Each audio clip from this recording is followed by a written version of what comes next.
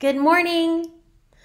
Good morning. Welcome to the Scripture Habit. Welcome to this community, this space, where our goal is to help you develop that habit of getting into Scripture. It is a life changing habit. That's that's what God's word does. It's just how it works. Um, my name is Rebecca. I'm a pastor. I get to be a host here at the Scripture Habit. I say welcome and it's an honor and a privilege to get to walk alongside you. Uh, today, we are continuing in our study through the book of Psalms. There are a lot of Psalms, 150 in total. Today, we are looking at Psalms 96 through Psalm 103. We won't read every single one today, but I'm hoping to point to one, a chunk of one, and then we will actually read entirely through two. So I'm going to wait just a second for friends who join us in the live to just give me a thumbs up, say hi, let me know that everything is good. Um, should be, now that we're not remote anymore, it should be good. So let me know, friends. All right. I'm going to go ahead and pray and we're going to get started. I see friends are starting to join in. Like Susan, good morning. Um, I'm going to go ahead and pray and then let's let's dig in. God, thank you so much for your word. Thank you for your presence, God. Thank you for your Holy Spirit that is with us, that speaks to us and guides us, reveals to us your heart, re- reveals to us stuff in ourselves that needs to be brought to you. We thank you for your Holy Spirit. God be with us. Amen. Amen. All right. Hi, Suzanne. Suzanne and Susan. I got them both. Yeah. All right, let's go ahead. Let me pull up the scripture. So, just to remind you what our reading schedule is for this week, today it seems like we have a big chunk, right? Because we've got we've got a bunch of them. But that's because there are many that are relatively short. So, when I go through the Psalms, let me pull this down just a little to try to um, identify what we're going to read for the day. Here we go. When I do that, I I look at roughly how many pages in the Bible and I go that way. You'll see that later in the week there's only 2 days where there's only 2 psalms per day, and that's because they're much longer, all right? So today we're looking at Psalms 96 through 103. All right, here are the titles in this selection, and you can see there's eight Psalms, right? First one, King of the Earth. 97, The Majestic King. 98, Praise to the King. 99, The King is Holy. You see a, you see a theme there? Yeah, and those four Psalms that are uh, grouped together, absolutely. Look at Psalm 100, Be Thankful. It's a psalm of thanksgiving. Uh, we are going to look at that one today. Psalm 101, a vow of integrity. This one is a psalm of David. The ones that I've mentioned before, they there's no author attributed to any of those. Psalm 102, affliction in light of eternity. And then Psalm 103, the forgiving God. This is also a psalm, it says, of David. And we're going to also look at Psalm 103 today. All right. I mentioned as we're looking through, there were four Psalms in today's reading that all mentioned the king.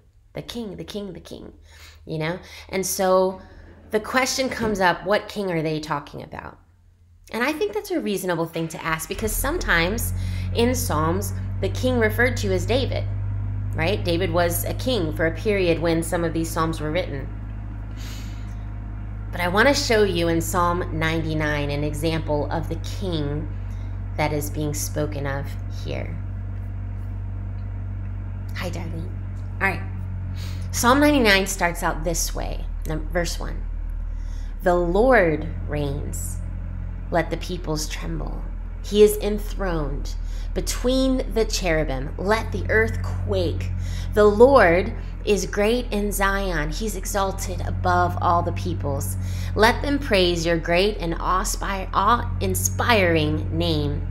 He is holy. Verse 4 The mighty king loves justice. You have established fairness. You've administered justice and righteousness in Jacob. Exalt the Lord our God.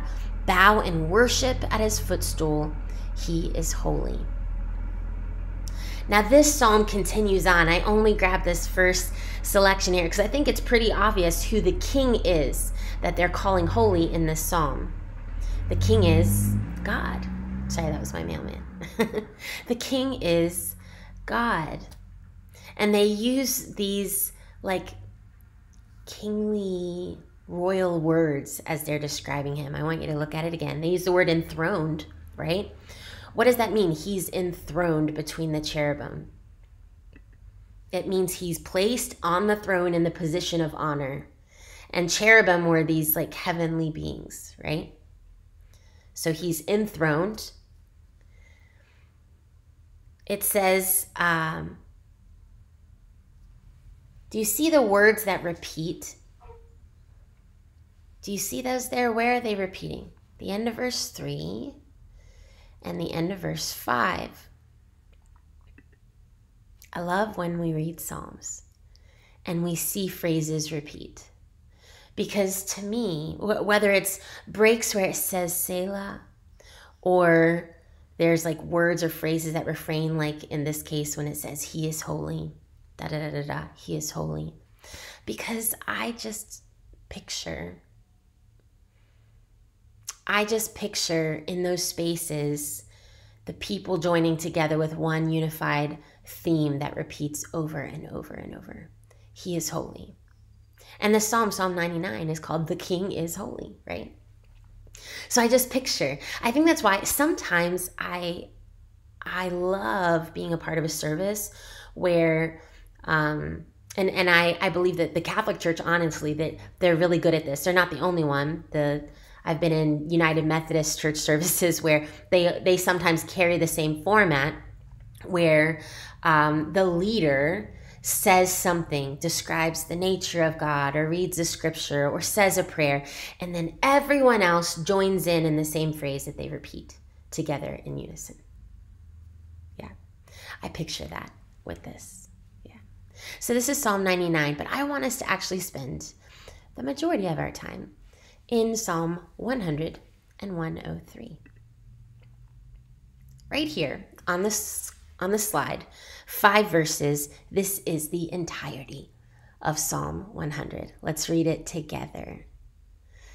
Let the whole earth shout triumphantly to the Lord. Serve the Lord with gladness. Come before him with joyful songs. Acknowledge that the Lord is God. He made us, and we are His, His people, the sheep of His pasture. Enter His gates with thanksgiving and His courts with praise.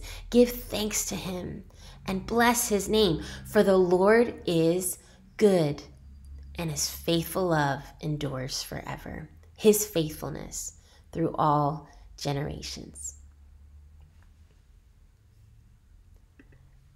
I might be operating on a little bit of an assumption when I say I bet you recognize some verses or phrases in that very short selection, right? Enter his gates with thanksgiving, enter his courts with praise. For the Lord is good and his faithful love endures forever, right? Um, I've seen this psalm in today's churches used as a call to worship. It's saying, hey, Let's worship the Lord. Let's give thanks for who He is and what He's done. He's good. He's worthy of praise, right? Look at the, oh, sorry, let me look at this again.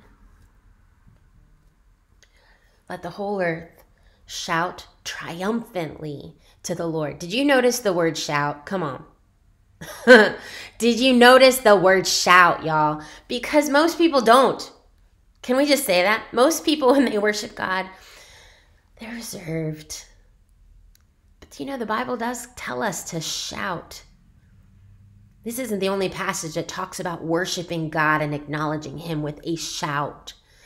You know, there's uh, shout unto God with a voice of triumph, shout unto God with a voice of praise, right?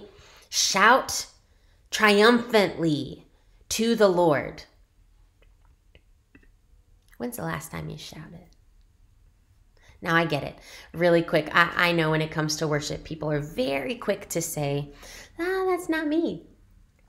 I'm not a shouter. You know, there's some people that's just like they're they're good at it, they're comfortable with it. I'm not comfortable with it. The challenge that I would put back to you, I get it. I'm not a shouter either. Like that's not my natural personality. But do you know what worship is not about? Worship is not about us. It's not about our comfort at all. Did you did you know that? Worship is about giving the honor and glory that God is worthy to receive. And if it means that we shout with all of our passion, with all of our voice, we're just trying to pour it all out to Him, I believe that our heart, our heart is pouring out worship. Susan, Suzanne, when I was very young, this was the first psalm I had to memorize. It's a great one. Back when kids went to church twice a week from elementary school. I still have it memorized. I love it. I love it. Susan says this I shout a lot to rebuke Satan from my family, electronics, and any aspect of my life. You know, I, and I'm guessing you've heard the same thing said but it just it strikes me every time I hear it. And that is there are other things in life that we seem to have no problem just pouring out passion and even shouting. For example, sports teams, our favorite, you know, um, musical group, if you're in a concert or um, cheering on your kids, you know, like we have these other spaces where we feel it is acceptable, it is okay. And yet, for whatever reason, for whatever reason, we back off, we shy away from pouring out the same amount of passion to God. Maybe we think, oh, well, church isn't the place to, you know, be loud or, you know, unreserved or something. I don't know. But the question I'd say is who's made that rule? Because scripture scripture does tell us that God is worthy of a shout that we can, we should shout triumphantly as we give thankfulness to God, as we acknowledge His greatness.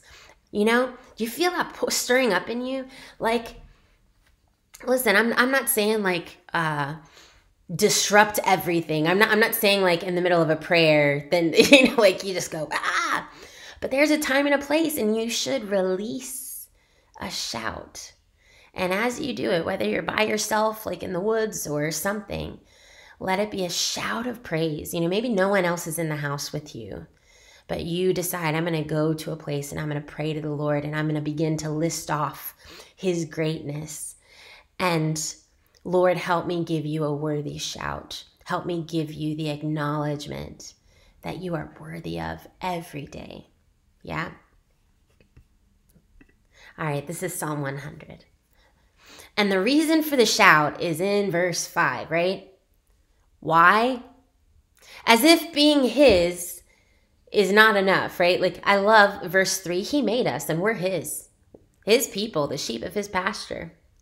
And then they say, hey, with the way we enter the gate to the court, to the presence of the Lord is with thanksgiving and praise, blessing His name. But then at the end of the day, verse 5 sums it up. Why do we praise Him? Because He's good. Because He's faithful in His love toward us toward all generations.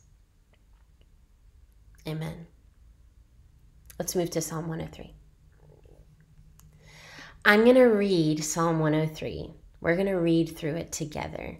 And my my belief is that you're probably going to recognize this psalm. If if you have been in a church setting for any period, you'll probably recommend recommend recognize, there we go, words or phrases from this psalm, but I want us to read it together.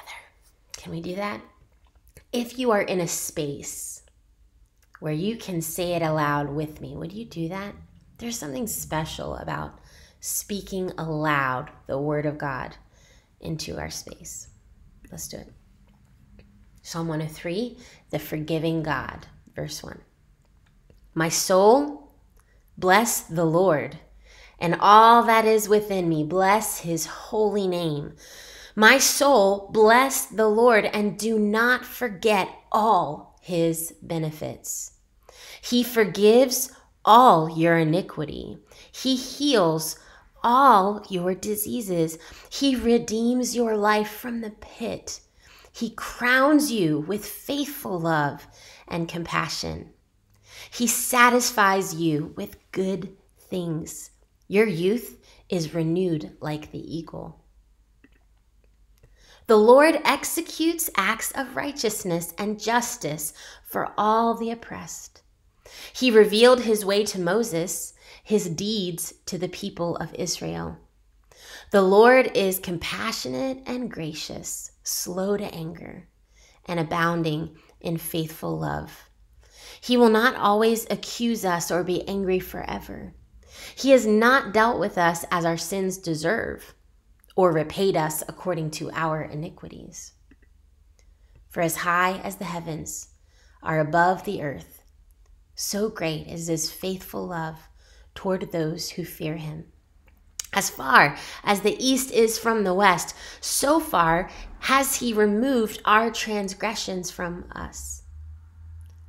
As a father has compassion on his children, so the Lord has compassion on those who fear him for he knows what we are made of, remembering that we are dust. As for man, his days are like grass. He blooms like a flower of the field.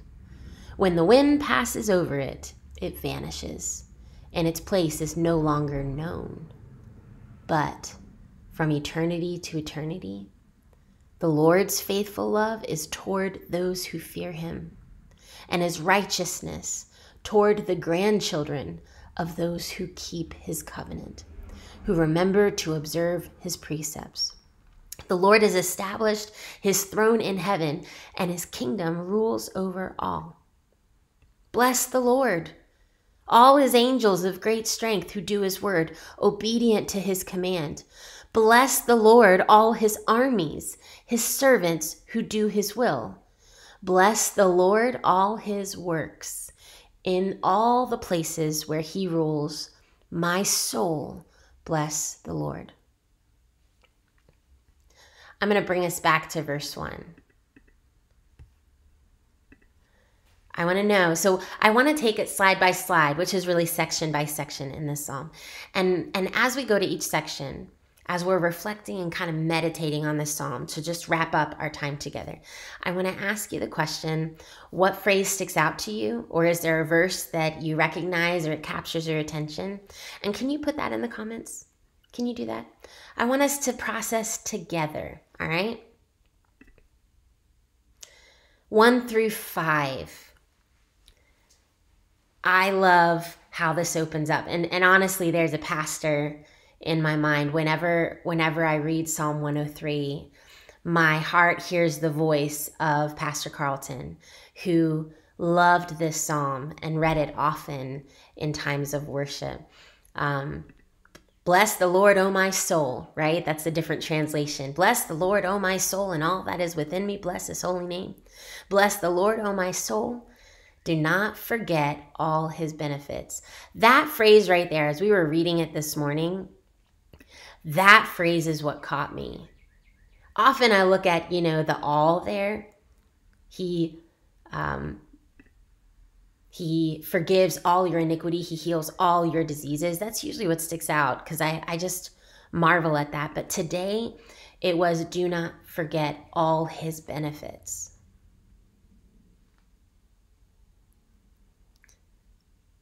For where I am right now, I've been challenged by the Holy Spirit. Um, to what extent do I really keep my heart and life open to the Lord to be transformed, to be challenged, um, to be changed? Because I think there's a lot of things that that I, because of the heaviness of life, I just accept. And I'm being challenged that God does not give up on me so easily. You know, there are things that I you know I'm, I'm not proud of about myself or things that i don't like about myself or challenges that i have and and sometimes i i accept them and i don't like them and i forget that the holy spirit has all of these benefits that he brings into our life when we yield to him things like god continues to give us direction discernment and wisdom as we listen to him right? And the curse of sin and shame has been broken over us. You and I are not bound to sin anymore. And yet, sometimes I forget that benefit. And um, sometimes we can live in habits of, you know, patterns of behaviors that aren't great because it's what we've known and it's what we've done. And I don't know, I just feel like I've forgotten his benefit. I've forgotten the power of the Holy Spirit in that space. I've given up on myself when God hasn't given up on me and my ability to change and be transformed through the power of His Holy Spirit. Do you know what I mean? Anyway, that, that's a phrase that gets me. Don't forget all his benefits. Usually, when people think of that, they're thinking of provision and protection and um, refuge. And, and yes, yes, what so many benefits of the Lord that are very diverse, right? That we forget those things. When you call on Him, He'll answer you, right? But for me today, I'm sitting there thinking of the benefit of the Holy Spirit that has the power to change, that has the power, no matter how old we get, to break the curse of sin and death and give us the, the power to live a different life. Yeah. I also love verse 5. He satisfies you with good things. That word satisfies. My girls and I have, ta- have talked a lot about what it means to be satisfied. Um, maybe because, like in, in school, right? I, I don't know what it is with, with kids in school right now. They talk about, um, is it called ASMR? Like these, you know, fidgets and whatever. And I'll never forget the first day that Noel said, Ooh, that's satisfying. And I was like, wow, that's a really big word for a, you know, five year old kid, six year old kid at the time. She's like, that's really satisfying. I like that. I like seeing that or experiencing that. But the satisfying of our soul means that this longing or this emptiness or this thing that hasn't it's felt like it's there's something missing or something needed. God satisfies our soul with good things. Yeah. He satisfies you with good things. Amen. Let's keep going. Verses 6 through 11. You probably recognize verse 8. Some translation, the translation that I had it memorized uh, was The Lord is gracious and compassionate, slow to anger and abounding in faithful love. This, uh, this translation is the Christian Standard, and it kind of flips those two words. The Lord is compassionate and gracious, slow to anger and abounding in faithful love. I appreciate how verse 6 points to him um, advocating for the oppressed, right? With executing acts of righteousness and justice.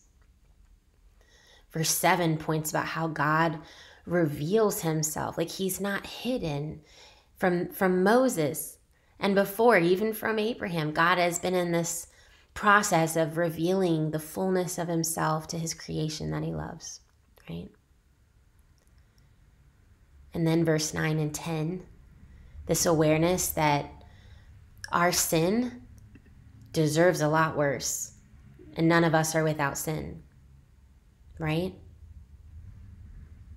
What we deserve as a result of our sin, the consequences that we deserve in addition to the uh, impact on our eternity as a result of sin. God delivers us from that. He invites us to walk a different path. Yeah.